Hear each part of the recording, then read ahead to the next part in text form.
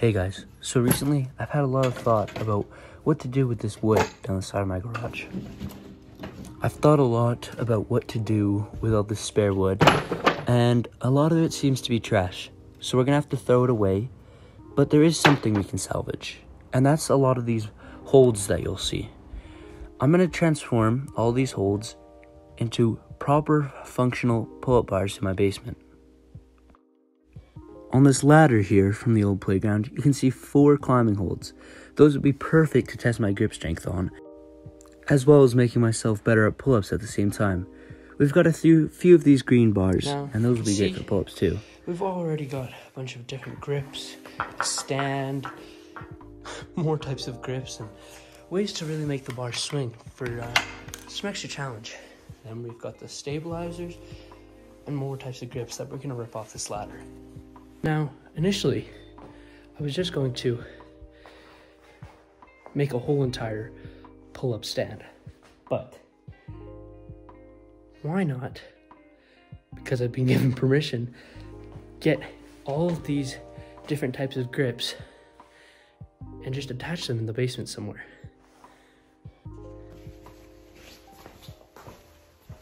But to first attach them to somewhere else, you need to disconnect them. Now, first of all, if we're just attaching these holds in the basement, we won't need these bars, but they'd be great to make some personalized dip bars in the future.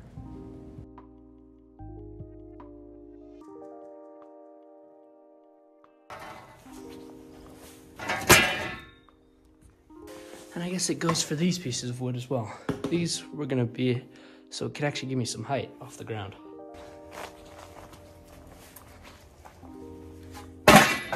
And I guess it won't mean these because we've already got the structural integrity of the different beams in the basement.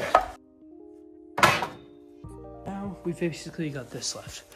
We've got a couple of these longer type of bars that used to be for monkey bars of my old play fort.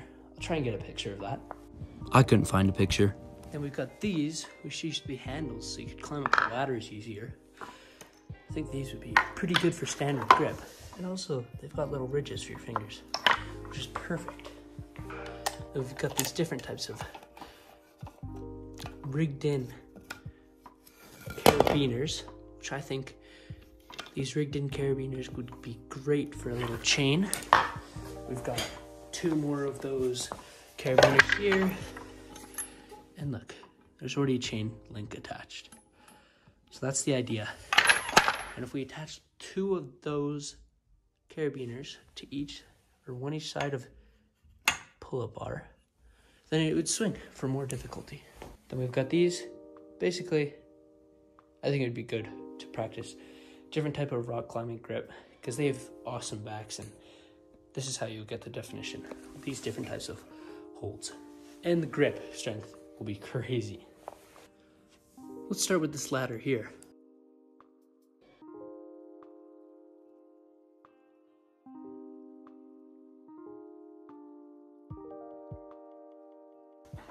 Now, this hold right here just won't unscrew. I've got the perfect grip, but I think the inside's been shredded. Obviously, you probably won't be able to see that from there, but the inside's shredded. This turns around, and on the other side, there's no way of unscrewing it because these are dug in. Thought about getting something to go here, just hammer it out, but obviously that won't work because they're screws, not gigantic nails. So, what I think I might do is just try and break this. Maybe I can unscrew the sides, or I just try and break down the middle and get this undone. Maybe we'll come back to it. I'll think of something. Now, this one's just or not attached like all the others, so we're just gonna start off with this grip.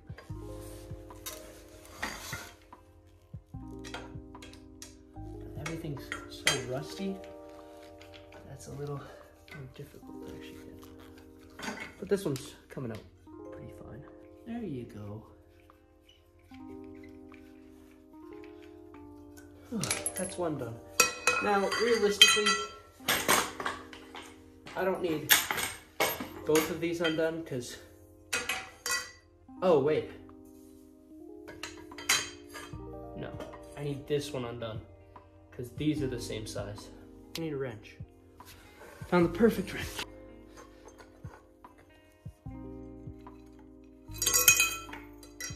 Ah, perfect. It's two done. So before I do anything, I'm just gonna make sure that these carabiners actually work. Because I don't got too many lying around.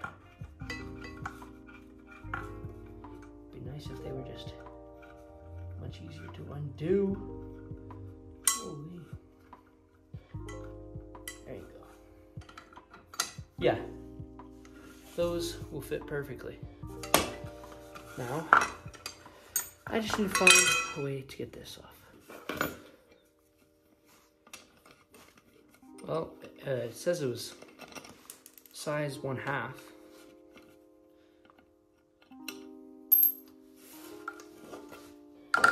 Perfect. Now the only thing is, will those be good to fit into holds? Because maybe on a structural beam, I think it should be able to support my weight.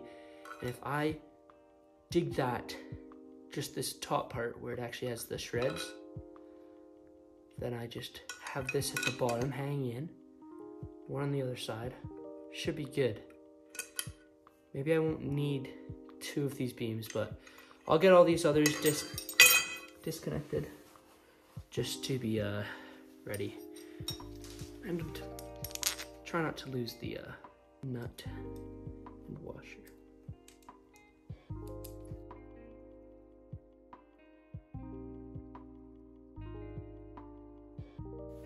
Um, yeah, that's probably the easiest to disconnect of all of them. We got four of them here. And I think I know where these came from, from the old Playfort. I think they were actually meant for the swings, so they should be perfect for uh, when I'm swinging on them. Now we'll get these yellow handles going. Yeah, I know that was a sick cut. You don't have to tell me about it. The scrap wood behind me. Looks like we're going to need probably something to hold it at the other side, like an Allen key, and then just some big type of uh, screwdriver. Then this side looks really easy, but it's gonna be basically the same thing. Just unscrew from here, unscrew from here. Then there's our two handles with perfect pull-up width. I'm gonna get this one out of the way first, because it's the easier one. Obviously, not much has gone to plan here, because I was gonna make a whole entire pull-up stand. I've been thinking about doing this for a while, but I guess it does make sense to um, just connect it into the basement. Done. Yeah, I think all it was is just going in here. So I think what came off this bar is really just a smaller version of what's on this bar. Um, I hope I'm right. This part does look bigger, just by a little bit, so I'm guessing it is the bottom bit and holds it in. I had to get help from my dad. This part right here wouldn't unscrew, so we've had to um, use a metal saw. See, this one was easy. This one was easy. We had to use a metal saw for this one. Uh, really just cut it clean. But now, we have two of these yellow handles. Took way longer than I thought it would.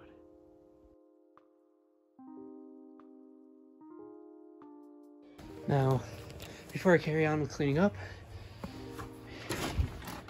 see these two white bars here? Now they're kind of covered by all this garbage, but those actually might be good for a dip bar. Maybe that would be a future video, so tell me if you guys want that in the comments below.